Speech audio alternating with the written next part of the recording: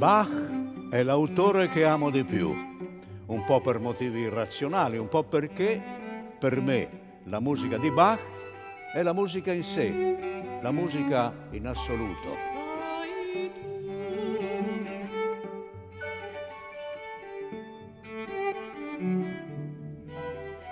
È la sacralità della morte a essere in cima ai nostri pensieri, qualcosa di profondamente tragico, quindi vero. Suono e sensualità e preghiera.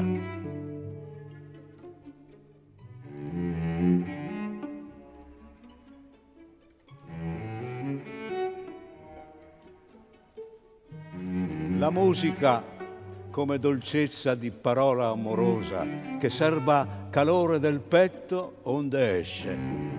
Legatura appena spezzata, da loro cantata persuasione e del violoncello sono le corde gravi che danno pienezza, vocalità al frammento di canto amoroso.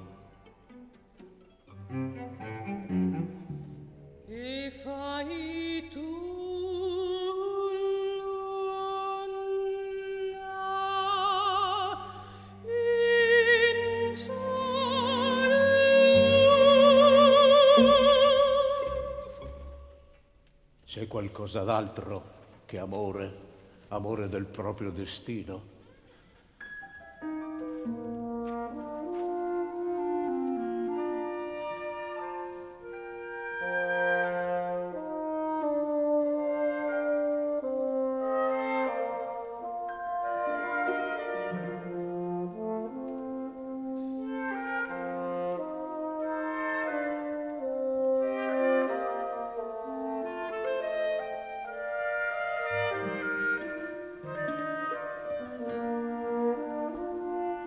Bach rappresentò per me in quei mesi la più forte e completa distrazione.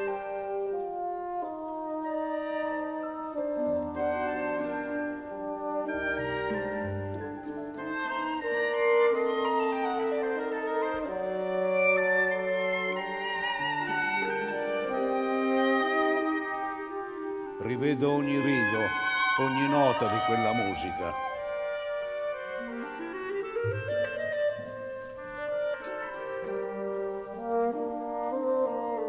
Risento la leggera emicrania che mi prendeva subito dopo le prime note, per lo sforzo che mi costava quell'ostinata attenzione del cuore e della mente.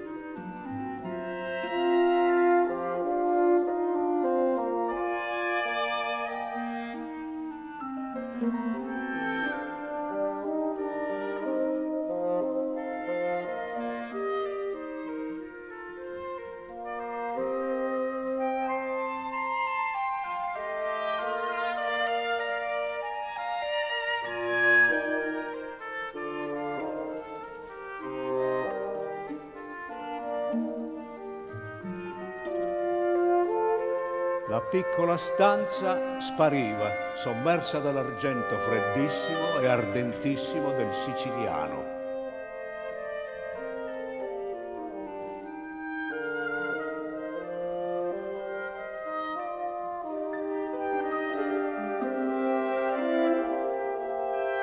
Io lo ascoltavo e lo svisceravo particolare per particolare.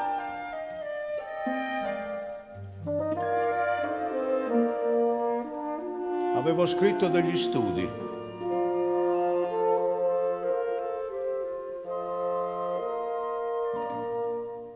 Ogni volta che lo riudivo mi metteva con la sua tenerezza e il suo strazio davanti a quel contenuto.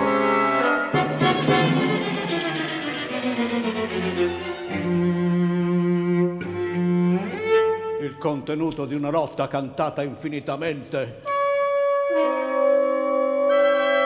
tra la carne e il cielo. Come parteggiavo per la carne.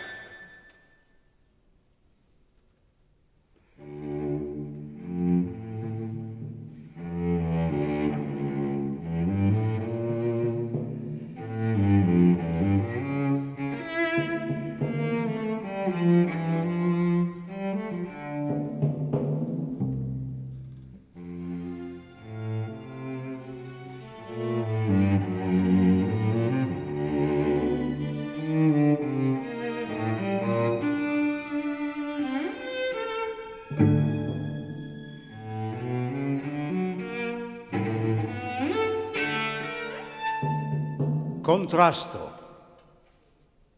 Le corde acute, soprattutto il là, crudo e stretto, senza allettamenti o dolcezze facili.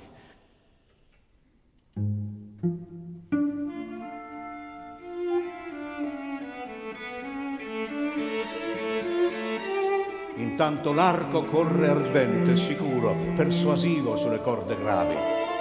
Ora deve trattenersi, sorvegliarsi, inacerbirsi.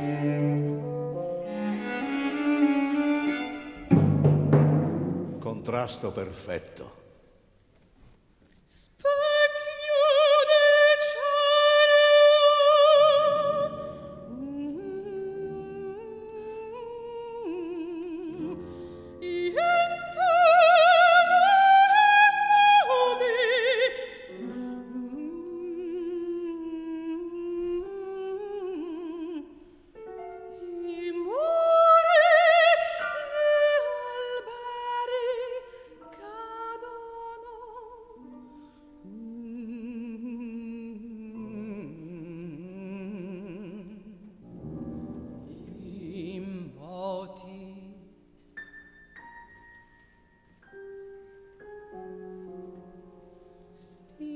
capo volto che pace paurosa. Non c'è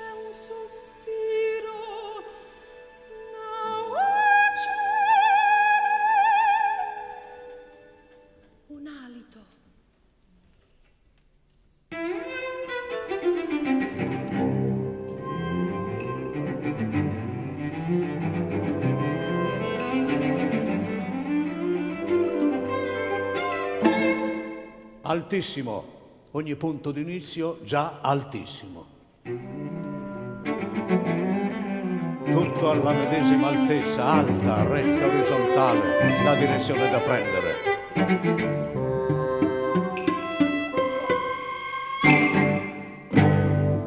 Unico corpo che si disegna linea orizzontale, senza scampo, senza tentazioni, senza ritorni, fino al finale. Commovente.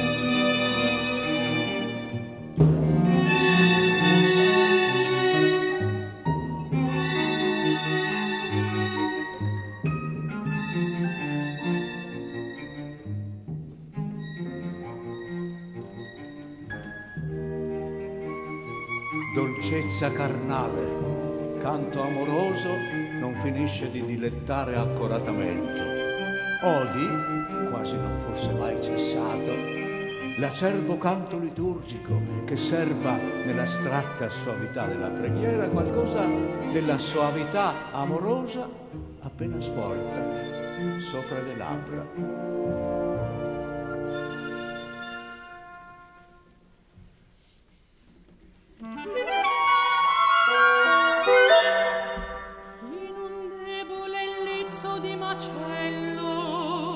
被动。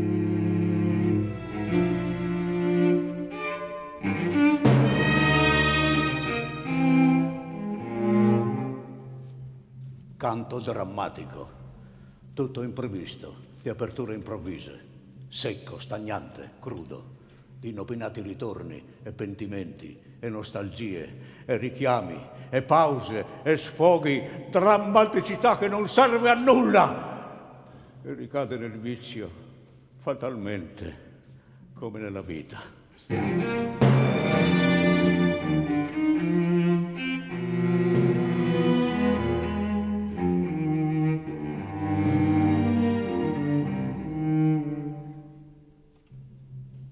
Spezzata, frantumata, tutto sempre nuovo, imprevisto, come nel dramma.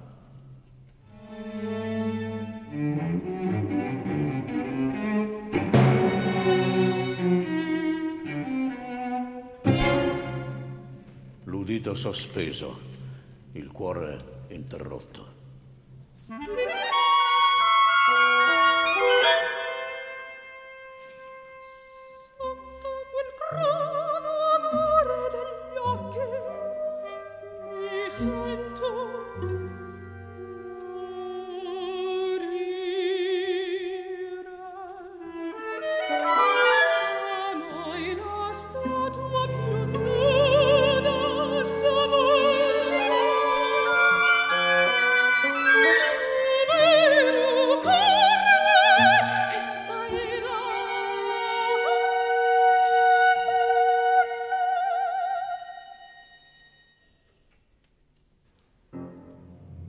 Vita si avvia d'incanto verso la medesima preghiera liberatrice che se l'ha cantata per nulla.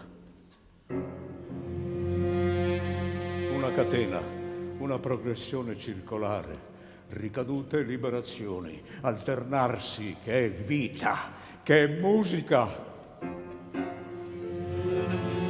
E, contraddizione umanissima, è qui dove cuore e carne si ribellano, che il canto sacro raggiunge dorata e casta e tenera dolcezza, in esso la dolcezza del canto profano.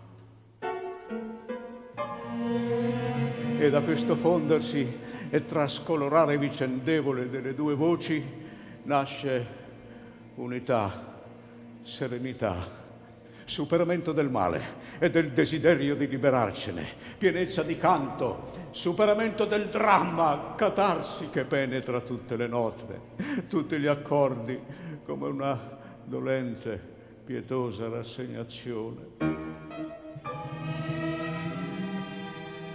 Dramma svuotato che prosegue come incantato meccanismo, piacere superiore del canto soverchiante con dolcezza, anzi lontananza, l'ispirazione stanca, distratta, raggiunge incantata spiritualità. Tutto superato, tutto inutile ormai. Resta la voce che si ripete viva appena per miracolo.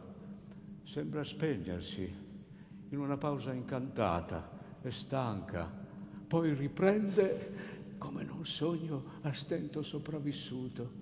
I vecchi motivi, ancora due voci avverse, carne e spirito.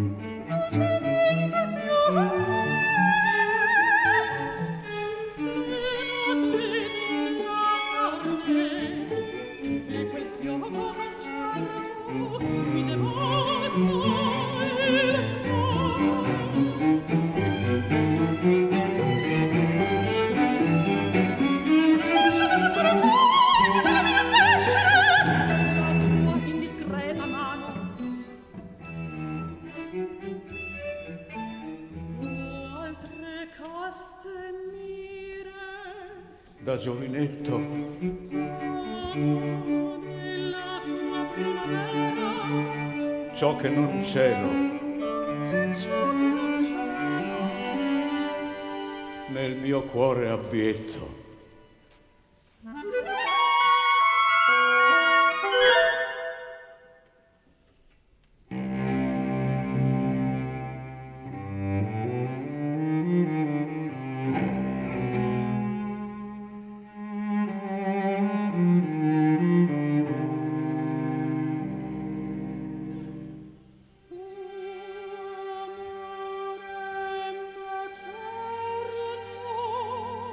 Straziante per gli oridi corpi pervasi dal segreto dei grembi.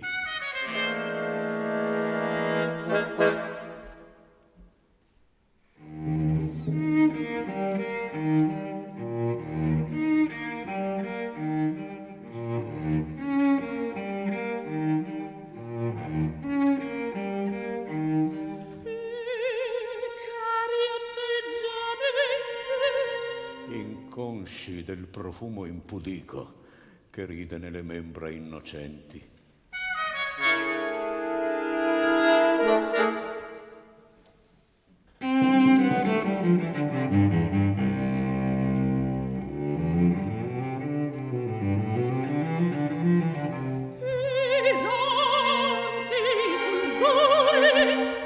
Di capelli, crudele negligenze di sguardi attenzione infedeli.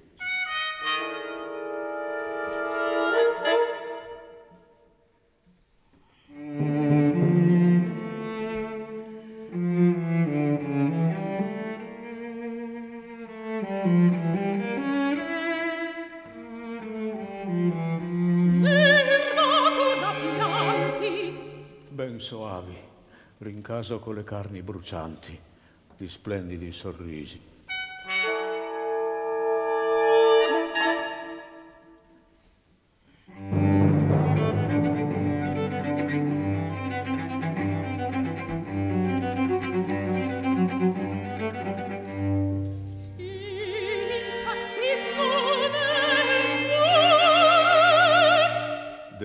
Feriale dopo mille altre notti. Di questo Sopra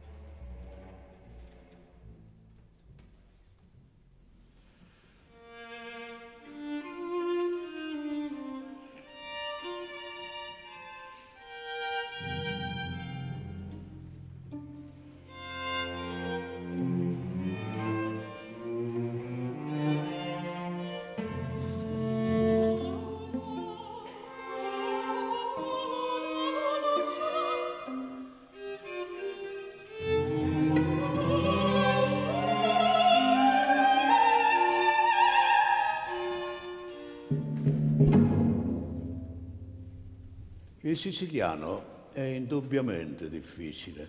Se io gli ho prestato un contenuto, questo non significa che avessi dimenticato la musica. E questo è un dilemma critico che sorge dopo aver iniziato la critica non più sua, cioè a critica scritta.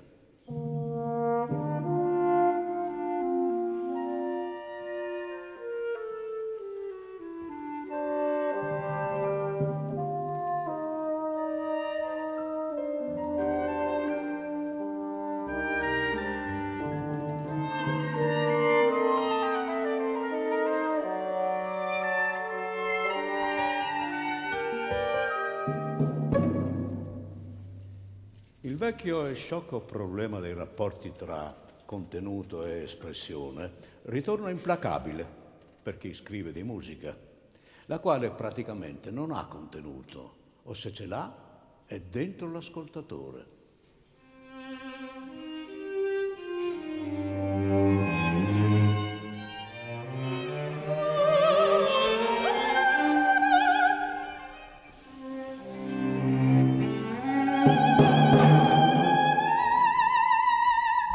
Anche la più esperta critica estetica non potrà mai liberarsi dalle parole, che sono proprio quelle che lo interessano, perché nelle parole stesse, per quanto considerate nella loro mera qualità di parole, permane un vecchio significato, per quanto spostato, e che serviamo dalla fanciullezza.